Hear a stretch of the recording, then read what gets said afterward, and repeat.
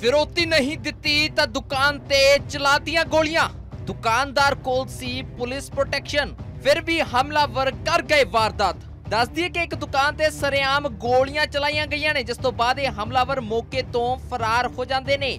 ਤਾਂ ਵੱਡੀ ਗੱਲ ਤਾਂ ਇਹ ਸੀ ਕਿ ਜਿਸ ਦੁਕਾਨਦਾਰ ਤੇ ਗੋਲੀਆਂ ਚਲਾਈਆਂ ਗਈਆਂ ਉਸ ਕੋਲ ਪੁਲਿਸ ਪ੍ਰੋਟੈਕਸ਼ਨ ਵੀ ਮੌਜੂਦ ਸੀ, ਫਿਰ ਵੀ ਹਮਲਾਵਰ ਇਹ ਵਾਰਦਾਤ ਕਰ ਜਾਂਦੇ ਨੇ। ਤਾਂ ਪੂਰਾ ਮਾਮਲਾ ਗੁਰਦਾਸਪੁਰ ਤੋਂ ਸਾਹਮਣੇ ਆਇਆ, ਜਿੱਥੇ ਦੁਕਾਨਦਾਰ ਨੇ ਦੱਸਿਆ ਕਿ ਉਸ ਤੇ ਪਹਿਲਾਂ ਵੀ ਦੋ ਵਾਰ ਹਮਲੇ ਹੋ ਚੁੱਕੇ ਨੇ। ਤਾਂ ਹੁਣ ਉਸ ਤੋਂ 40 ਲੱਖ ਰੁਪਏ ਦੀ ਰੰਗਦਾਰੀ ਮੰਗੀ ਗਈ ਸੀ, ਜਿਸ ਤੋਂ ਬਾਅਦ ਉਸ ਤੇ ਇਹ ਹਮਲਾ ਕੀਤਾ ਗਿਆ। ਤਾਂ ਪਹਿਲਾਂ ਵੀ ਉਸ ਤੇ ਹਮਲਾ ਕੀਤਾ ਗਿਆ ਸੀ। ਤਾਂ ਇਸ ਸੰਬੰਧੀ ਉਸਨੇ ਦੱਸਿਆ ਕਿ ਉਸ ਤੇ ਪਹਿਲਾਂ ਵੀ ਹਮਲਾ ਹੋ ਚੁੱਕਿਆ ਹੈ ਤੇ ਪੁਲਿਸ ਦੇ ਵੱਲੋਂ ਉਸ ਨੂੰ ਸੁਰੱਖਿਆ ਵੀ ਦਿੱਤੀ ਗਈ ਸੀ।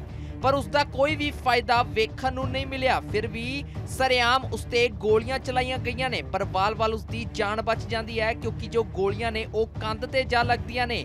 ਤਾਂ ਪੁਲਿਸ ਦੇ ਵੱਲੋਂ ਹੁਣ ਮਾਮਲੇ ਦੀ ਜਾਂਚ ਕੀਤੀ ਜਾ ਰਹੀ ਹੈ ਤੇ ਸੀਸੀਟੀਵੀ ਦੇ ਆਧਾਰ ਤੇ ਇਨ੍ਹਾਂ ਹਮਲਾਵਰਾਂ ਦੀ ਭਾਲ ਕੀਤੀ ਜਾ ਰਹੀ ਹੈ। ਤਾਂ ਸਰੇਆਮ ਵੇਖ ਸਕਦੇ ਹੋ ਕਿਸ ਤਰੀਕੇ ਦੇ ਨਾਲ ਹਮਲਾਵਰਾਂ ਦੇ ਹੌਸਲੇ ਬੇਖੌਫ ਨੇ ਜਿਨ੍ਹਾਂ ਦੇ ਵੱਲੋਂ ਇਸ ਦੁਕਾਨਦਾਰ ਦੇ ਉੱਤੇ ਹਮਲਾ ਕੀਤਾ ਗਿਆ। ਤਾਂ ਪਹਿਲਾਂ 40 ਲੱਖ ਰੁਪਏ ਦੀ ਰੰਗਦਾਰੀ ਮੰਗੀ ਗਈ ਸੀ ਅਤੇ ਨਾ ਦੇਣ ਤੇ ਉਹਨਾਂ ਦੇ ਵੱਲੋਂ ਇਸ ਤੇ ਗੋਲੀਆਂ ਚਲਾ ਦਿੱਤੀਆਂ ਜਾਂਦੀਆਂ ਨੇ। ਪਰ ਉਹਨਾਂ ਦਾ ਨਿਸ਼ਾਨਾ ਚੁੱਕ ਜਾਂਦਾ ਹੈ। ਉਹ ਦੁਕਾਨ ਦੀ ਕੰਧ ਤੇ ਜਾ ਲੱਗਦੀਆਂ ਨੇ ਜਿਸ ਕਰਕੇ ਦੁਕਾਨਦਾਰ ਦੀ ਜਾਨ ਵਾਲ-ਵਾਲ ਬਚਦੀ ਹੈ। ਸਰ ਫਰੋਤੀ ਦਾ ਹੀ ਮਾਮਲਾ ਹੈ। ਕੀ ਫਰੋਤੀ ਕੌਣ ਮੰਗ ਪੈਸੇ ਰਿਹਾ? ਮੰਗਦੇ ਆ ਜੀ।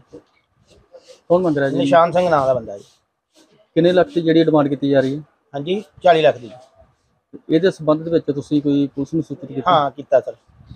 ਤੇ ਇਸ ਤੋਂ ਪਹਿਲਾਂ ਵੀ ਕੋਈ ਤੁਹਾਡੇ ਨਾਲ? ਹਾਂਜੀ ਦੋ ਵਾਰੀ ਅੱਗੇ ਹੋ ਗਿਆ ਜੀ ਤੇ 'ਚ ਪਹਿਲਾਂ ਵੀ ਗੋਲੀਆਂ ਚੱਲੀਆਂ ਸੀ? ਹਾਂਜੀ। ਉਹ ਦੋਸ਼ੀ ਕੀ ਫੜੇ ਗਏ? ਦੋਸ਼ੀ ਪਹਿਲੇ ਦੇ ਸਾਡੇ 2023 ਚ ਜਿਹੜੇ ਹੋਏ ਅੰਦਰ ਆ। ਹਾਂਜੀ। ਤੇ ਜਿਹੜਾ 2024 ਚ ਉਹਨਾਂ ਦੀ ਵੈਸੇ ਜ਼ਮਾਨਤ ਹੋ ਗਈ। ਅੱਛਾ। ਹਾਂਜੀ। ਜਿਹੜੀ ਕੱਲ ਗੋਲੀ ਚੱਲੀ ਉਹ ਕਿੱਥੇ ਲੱਗੀ ਹੈ? ਤਾਂ ਉਹ ਦੁਕਾਨ ਦੇ ਸਭ ਤੋਂ ਪੱਲੇ ਕੋਲੇ ਤੇ ਲੱਗੀ।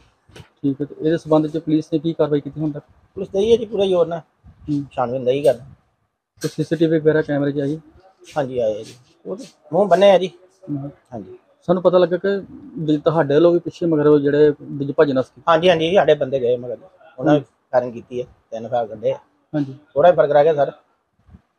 ਇਹਦਾ ਕੱਲ ਕਾਬੂ ਆ ਜਾਣੇ ਕੀ ਆਪਣੇ ਆਪ ਨੂੰ ਤੁਸੀਂ ਸੁਰੱਖਿਅਤ ਮਹਿਸੂਸ ਕਰਦੇ ਹੋ? ਅੱਛਾ ਜੀ।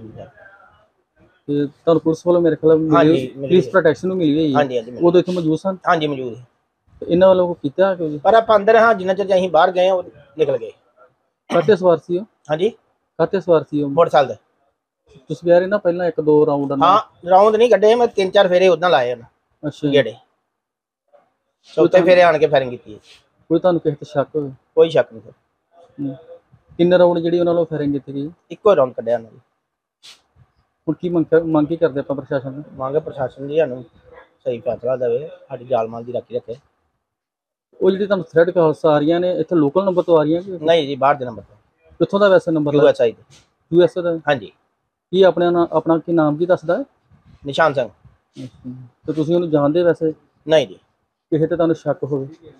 ਨਾ ਨਾ ਸ਼ੱਕ ਇੱਥੇ ਲੋਕਲ ਨਹੀਂ ਗਏ ਤੇ ਸਰ। ਅਹ ਸਾਡੇ ਇਨਫੋਰਮੇਸ਼ਨ ਆਈ ਸੀ ਕੱਲ 6 ਵਜੇ ਜਿਹੜੀ ਹੈਗੀ 6 ਵੀਹ ਤੇ ਕੋਈ ਗੋਲੀ ਚੱਲੀ ਹੈਗੀ ਧਰਮਕੋਟ ਰੰਧਾਵਾ ਉਹਦੀ ਅਸੀਂ ਜਾਂਚ ਕਰ ਰਹੇ ਹੈਗੇ ਆ ਮਤਲਬ ਮਤਲਬ ਕਿਹਦੇ ਤੇ ਗੋਲੀ ਚੱਲੀ ਕਿੰਨ ਚਲਾਈ? ਤੇ ਦੁਕਾਨ ਸੀਗੀ ਜੀ ਦਿਨੇਸ਼ ਜੀ ਤੇ ਉਹਨਾਂ ਦੀ ਦੁਕਾਨ ਤੇ ਗੋਲੀ ਚੱਲੀ ਹੈਗੀ ਹੈ ਜੀ। ਸਰ ਇਹਨਾਂ ਦਾ ਦੂਜਾ ਤੀਜਾ ਚਾਂਸ ਹੋ ਗਿਆ। ਸਰ ਹਜੇ ਤੱਕ ਕੋਈ ਦੋਸ਼ੀ ਕੋਈ ਅਰੈਸਟ ਹੋਇਆ ਜੀ?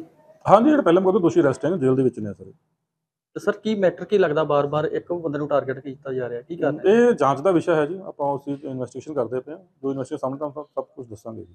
ਤੁਸੀਂ ਸਰ ਸੀਸੀਟੀਵੀ ਕੈਮਰੇ ਖੰਗਾਰ ਰਹੇ ਕੋਈ ਫੋਟੋਜ਼ ਵਗੈਰਾ ਮਿਲੀ ਉਹਨਾਂ ਦੀ? ਅੱਛਾ ਚੱਲ ਰਿਹਾ ਜੀ ਜੀ ਜਾਂਚ ਚੱਲਦੀ ਪਈ ਹੈ। ਤੇ ਸਰ ਕੀ ਕਾਰਵਾਈ ਕੀਤੀ ਗਈ ਹੁਣ ਤੱਕ? ਐਫ ਆਈ ਆਰ ਲੌਂਚ ਕੀਤੀ ਹੋਈ ਹੈ ਜੀ।